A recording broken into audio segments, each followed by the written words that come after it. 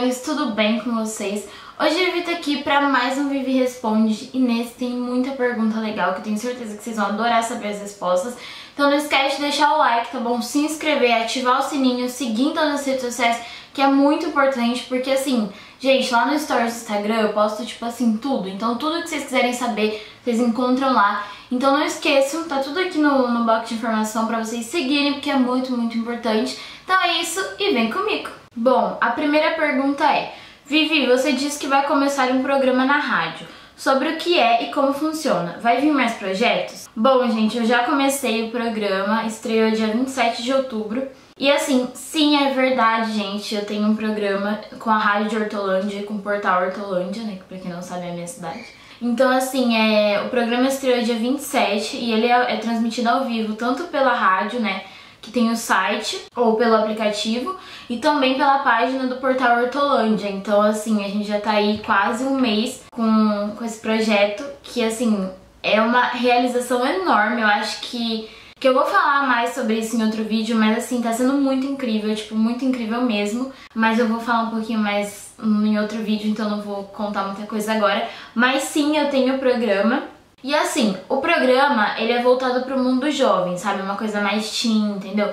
Então assim, ele, ele chama Jovens no Comando e ele é apresentado por mim e pela Gi, que é minha prima, né? Que acho que vocês conhecem, quem me acompanha há muito tempo sabe quem é. E assim, eu vou deixar os links aqui embaixo, tudo certinho pra vocês conseguirem acessar e acompanhar. Mas o foco é o universo jovem, então a gente traz os influencers da região, os youtubers, enfim, a galera que tá no, no auge, assim, nas redes sociais, que são da região, pra gente fazer uma entrevista, um bate-papo, para as pessoas poderem conhecer mais. Então, assim, tá sendo muito legal. A gente já trouxe o Japa, o Renan Japa, já trouxe o Vinícius Sandoval, o Luca Vilches. No último programa agora teve a Dai, a Dai Cunha, que ela é uma blogueira de Campinas. E também a gente entrevistou o João Guilherme, mas não foi pro nosso programa, foi para uma cobertura do, de um outro evento num vídeo do portal. E assim, se vão vir mais projetos, gente, eu acho que eu sou uma pessoa que eu gosto de desafio, né? Então assim, quem tiver novos projetos aí pra me encaixar, pode me chamar que eu tô aceitando. Mas assim, eu não sei se essa pergunta foi relacionada ao programa ou foi relacionada à minha vida, então, porque tá na pergunta do programa. Mas assim, em relação ao programa, a gente vai tentar inovar um pouquinho mais ano que vem. Vocês vão entender o que eu tô falando a partir do ano que vem. Então, inclusive, gente, eu não consigo acompanhar todos os influencers da região, não, não consigo conhecer todos os influencers da região. Então, se você é influencer, se você conhece, por favor, me chame no direct do Instagram e passa o nome, passa o que a pessoa faz, porque aí a gente pode chamar a pessoa para vir no programa também. Mas assim, de projeto pro ano que vem relacionado ao programa, tem, tem umas coisas em mente que eu e a Gia a gente tá planejando, mas a gente ainda não pode contar. Vocês vão saber se vocês acompanham o programa. Aqui pro canal tem um projeto também que eu ainda não posso contar. E sobre a minha vida assim, eu não sei se vocês quiserem me convidar para fazer parte de algum projeto, eu tô aceitando. A segunda pergunta é uma pergunta que muita gente me fez depois da entrevista que é como foi entrevistar o João Guilherme. Gente, assim, o João Guilherme ele tem mais de 8 milhões de seguidores, então assim, é um número muito grande de seguidores. É, teve um evento aqui em Hortolândia, que foi o Hortolendo, que tem todo ano, e aí, assim, a prefeitura chama é, youtubers, sabe, uma galera assim que tá bombando. E esse ano foi o João Guilherme, e graças a Deus eu tive a chance de poder tá lá entrevistar ele, enfim. Só que assim, foi muito rápido. Eram duas perguntas e eu fiz uma, a gente fez outra. Então, assim, é muito rápido. Tipo, quando você vê, já acabou e aí você fica, cara, como assim entrevistei o João Guilherme? Tipo, então, assim, gente, eu não sei direito porque eu não sou fã dele, né? Então, pra mim, eu não fiquei nervosa. Claro que eu fiquei nervosa porque o cara tem muito seguidor, né? Mas assim, de tipo, ai meu Deus, eu sou fã dele, eu não sou. Então, pra mim, tipo, era só o João Guilherme, entendeu? Era só o filho do Leonardo, que já namorou a Larissa Manoela, que ele tem mais de 8 milhões de seguidores. Mas assim, tipo, pra mim ele era uma pessoa normal que é famosa. Não era tipo, ah, nossa, João Guilherme. Que eu não sou fã dele, gente. E eu vou ser muito sincera pra vocês. Eu passei a acompanhar ele por conta da entrevista. Eu, eu sei quem era, eu acompanhava, eu seguia. Mas assim, de saber mesmo tudo da vida dele eu não sabia. Eu fui pesquisar por conta da entrevista. E assim, ele foi muito simpático. Mas assim, tipo, eu não sei explicar. Muita gente fica, nossa, você ficou nervosa. É claro que você fica nervoso porque é uma pessoa que é famosa. Então, assim, você pensa, pô, tô tendo a oportunidade de entrevistar alguém que é famoso. Então, tipo, você fica, vou dar meu melhor, então você fica nervoso. Mas assim, de tipo, ai meu Deus, João Guilherme, não, porque eu não sou fã, gente. Então, pra mim, tipo, normal. Mas ele é simpático, ele respondeu tudo bonitinho, tirou foto, tava, tava conversando com todo mundo que tava ali dentro da sala, então é que assim, é uma experiência muito, muito, muito incrível. Eu vou ser muito sincera pra vocês. Quando você pensa, a vitória do ano passado, assim, eu já conheci o Vitor Meniel, o Christian Figueiredo, mas você conhece como fã. E é diferente você conhecer como fã e você conhecer como profissional, entendeu? É, é assim, é muito louco, porque você tá ali indo fazer seu trabalho e você pensa, cara, eu tô tendo a oportunidade de conhecer tanta gente incrível por conta do meu trabalho, sabe? O ano passado eu nunca ia imaginar que eu ia estar onde eu tô hoje, sabe? Se você me perguntasse, com certeza eu ia falar, não imaginava, porque eu realmente não imaginava que eu ia conseguir conquistar o que eu conquistei esse ano. Mas assim, é muito incrível, ele foi simpático, Assim, foi muito rápido, então não deu pra gente saber. Gente, se eu tivesse tempo de conversar com ele, eu ia perguntar, tipo, 50 mil coisas. Mas assim, um dia a gente ainda traz ele no programa, se Deus quiser, né? Quem sabe. Terceira, Vivi, você já se decepcionou muito com uma amiga e conseguiu perdoar depois? Já, gente, já. Isso aconteceu ano passado. Eu acho que assim, é importante a gente perdoar, sabe? É, na hora eu fiquei com muita raiva. Eu fiquei assim tipo, alguns meses sem conversar. Mas assim, não tem como você evitar por muito tempo, né? Porque a pessoa tem o mesmo grupo de amigos que você. Então, uma hora ou outra vocês vão se esbarrar em algum lugar. Então, assim, eu fiquei com muita raiva no momento, eu fiquei muito chateada com a pessoa, porque eu acreditava realmente que ela era minha amiga. Mas aí depois de um tempo você fala, pô, vamos perdoar, né? Todo mundo erra uma vez na vida, podia ser eu. Então, assim, hoje em dia a gente conversa de novo, a gente tá numa boa. Porque eu acho que a gente tem sim que perdoar, porque é importante, né? Vai que um dia a gente que comete o erro. Vivi, você tem vontade de aprender inglês ou espanhol? Sim, gente, eu tenho muita vontade, principalmente agora que eu quero trabalhar mesmo com esse negócio de as entrevistas, ter programa, enfim. E é muito importante você saber falar outra língua, porque assim, vai que você tem a oportunidade de cobrir um evento muito grande que tem um artista internacional, sabe? Você vai perder a matéria porque você não sabe falar inglês. Então assim, sim, eu quero muito fazer. Eu só não sei se eu vou fazer o ano que vem, né? Porque esse ano já tá acabando, não adianta nada. O ano que vem ou no outro ano. No outro ano seria mais fácil, porque, né, eu ia ter saído da escola já, eu ia ter mais tempo. Mas eu não sei, talvez eu comece ano que vem ou no outro, preciso ver. Mas assim, eu acho que eu vou começar a fazer espanhol porque espanhol é mais fácil do que inglês, né? Porque pra gente que fala português, espanhol é mais fácil. Mas eu não sei, gente, qualquer coisa eu vou contando aqui pra vocês. A quinta pergunta foi uma coisa que muita gente me pergunta também, que como foi entrevistar o Japa? Pra quem não sabe, né, o, o Renan Japa, que tem um canal aqui no YouTube, ele foi no nosso programa. E assim, muita gente ficou falando, ele é bonito mesmo pessoalmente, nossa, o sorriso dele é daquele jeito. E sim, gente, ele é bonito, sim, o sorriso dele é daquele jeito. Mas é que assim, você tá, tá no profissional, você não pode ficar lá no meio da entrevista falando, nossa, cara, você é bonito, nossa, olha que sorriso lindo. Não, você tem que ser profissional, né? Mas assim, gente, ele é muito simpático, muito, muito, muito, muito, muito, assim, extremamente simpático. Eu falei isso pra ele e falo aqui de novo porque ele é realmente muito simpático. A Amanda tava com ele também, a Amanda também tem um canal aqui no YouTube. E ela foi também. E assim, uma coisa que todo mundo falou é que a Amanda tava. Na semana que o Japa foi, a Amanda tava na casa dele. E aí muita gente ficou falando, ai, mas ela tem uma cara de ser metida. Vê se ela é metida mesmo. E assim, eu sabia que ela ia ir porque ela tava com ele, né? Não ia largar ela lá sozinha e ia pra outra cidade. E assim, todo mundo queria saber se ela era metida ou não. E, gente, ela é muito, muito, muito simpática e ela é muito pequenininha, então eu me senti... Nossa, ela parecia minha irmã porque tá baixinhas igual. Gente, ela é muito simpática, muito, muito, muito, muito, muito, de verdade. Assim, os dois são muito simpáticos. E o pai do Japa e a mãe do Japa tava também. Então, assim, gente, assistam a live lá no, na página do portal, porque foi hilário, gente. Eu ri. Mas eu ri. Gente, vocês não estão entendendo como eu ri aquele dia. Nossa, meu Deus, foi hilário. Sério, a mãe dele é demais, gente. Assistam lá que vocês vão entender o que eu tô falando. Mas assim, foi muito incrível, porque o Japa ele tem um número muito grande de seguidores, né? Ele tem mais de 500 mil no YouTube, tem mais de 200 mil no Instagram. Então, assim, é um número muito alto. E você fica pensando, pô, o cara é de outra cidade, ele tem um número alto, ele nunca vai querer vir aqui no nosso programa. E ainda mais porque ele foi o primeiro entrevistado, sabe? E aí quando ele chegou assim, tipo, eu, eu conversei com ele antes, né, obviamente, porque a gente tinha que acertar as coisas da entrevista.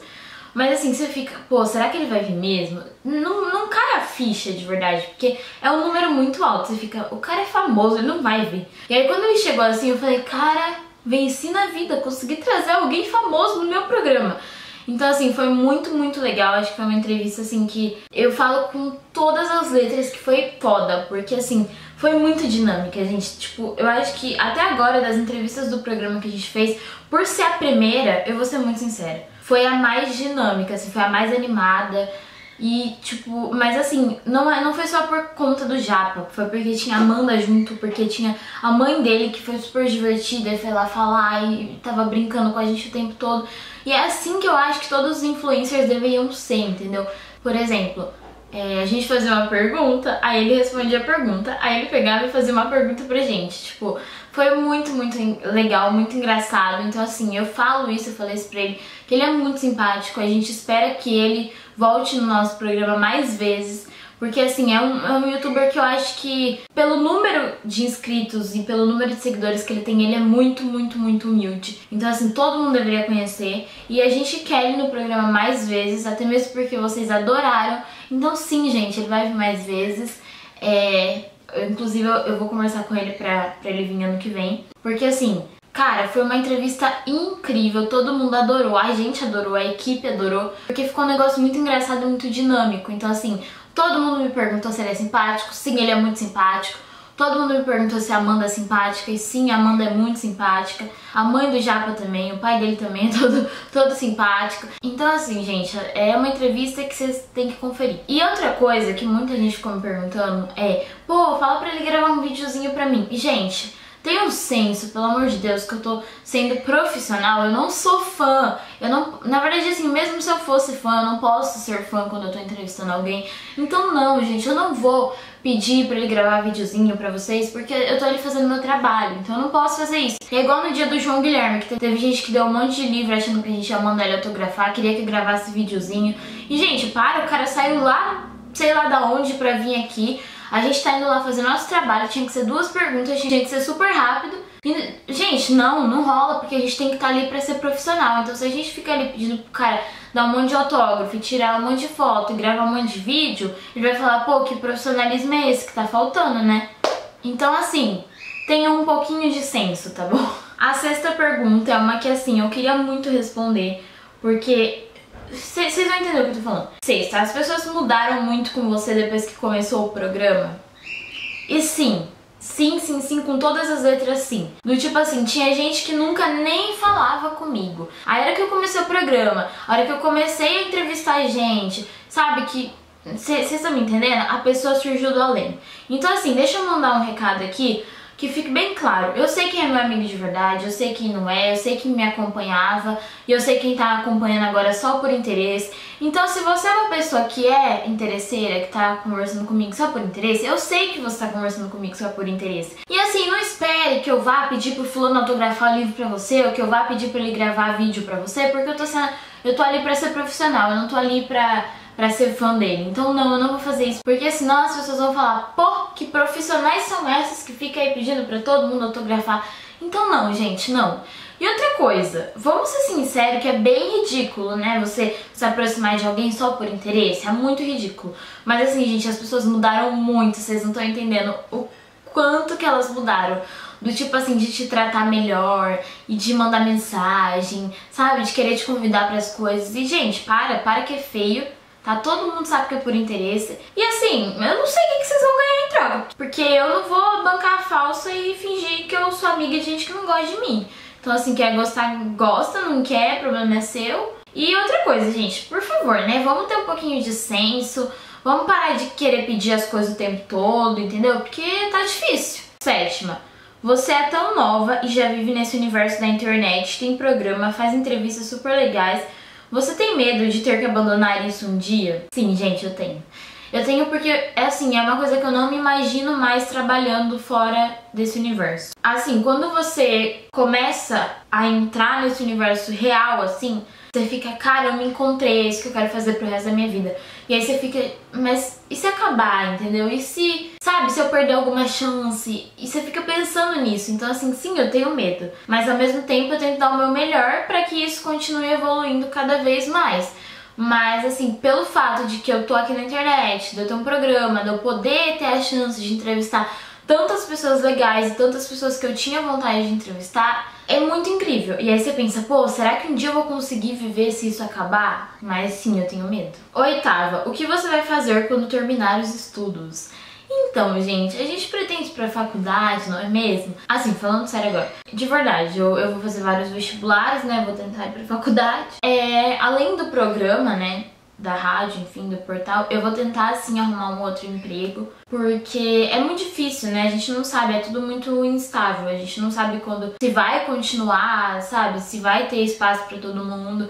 Então é uma coisa que você não pode contar muito, para ser muito sincera assim, porque é aquela coisa, né? Se a visualização tá baixa, ou eles vão pedir para você inovar, ou eles vão colocar outra pessoa no seu lugar. Então, tem tudo isso, mas é, não sei, gente. Eu, eu, confesso que eu tô um pouco nervosa, assim. Mas quando eu acabar a escola, eu venho aqui gravar um vídeo falando sobre isso, né? Porque depois do ano que vem, só Deus sabe. Nona, qual o melhor e o pior momento que você teve no ensino médio até agora? Eu acho que o melhor não teve um específico que foi o melhor, mas assim, eu acho que tudo que eu vivi até agora, assim, de tipo apresentações, as pessoas que eu conheci, os professores que eu conheci, e o pior foi quando me mudaram de sala no começo desse ano. Nossa, eu fiquei com ódio.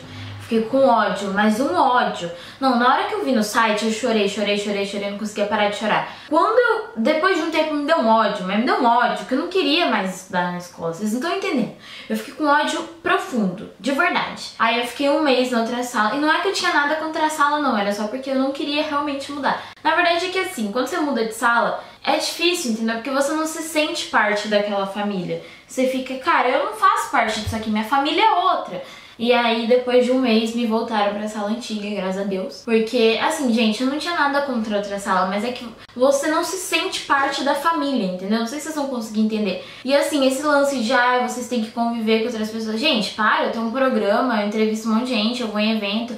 Eu já convivo com um monte de gente, não preciso conviver com mais ninguém não, pelo amor de Deus. E a última, alguém com quem sempre falava e não fala mais, porém sente saudades. Ai meu Deus. Assim, gente, é, dos amigos antigos, que eu acho que é o que a pessoa quis dizer na pergunta da escola antiga, eu ainda converso com a grande maioria, assim, tipo, o Ricardo, Diego, eu sempre converso. É, eles sabem da minha vida. A Vicky também eu sempre converso, a gente continua assim com uma relação muito boa.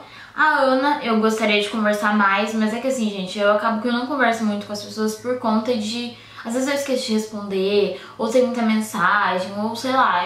Gente, eu tenho preguiça de responder as pessoas. Então, assim, eu queria muito conversar com a Ana, assim, tipo, mais. Mas eu converso com ela também, a gente sempre conversa. Mas, assim, uma pessoa que eu quase não converso mais e que a gente era muito amigo antigamente, que quem me acompanha há muito tempo sabe, é o Rani. Tipo, a gente conversava muito antigamente, a gente era muito amigo. E hoje em dia a gente quase não se fala, a gente quase não se vê. Então é uma pessoa, né, que eu não falo muito, assim, mas que eu queria voltar a falar. E outra, o Natan, eu quase não converso mais com o Natan e a gente era muito amigo. Muito, muito, muito, muito, assim, é, na sala, sabe? Ele era uma das pessoas que eu era mais amiga. E inclusive tem vídeo aqui no canal com o Natan. E assim, a gente era muito amiga e a gente quase não conversa. Mas a gente não brigou não, tá, gente? É só porque falta tempo mesmo. Eu acho que, tipo, os dois é os que eu, que eu menos converso hoje em dia e, tipo, eu sinto muita falta. Bom, gente, é isso. Espero que vocês tenham gostado do vídeo. Se vocês gostaram, não esquece de deixar o like, se inscrever, ativar o sininho, seguir em todas as redes sociais, que é muito importante. Então é isso. Um beijo e até o próximo vídeo. Tchau!